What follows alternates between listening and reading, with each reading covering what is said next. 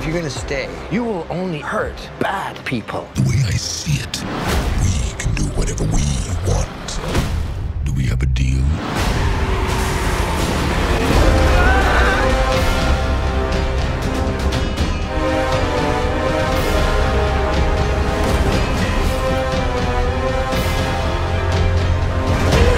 You should be extremely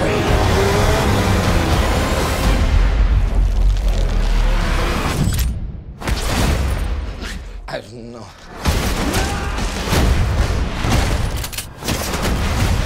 Why would we do that?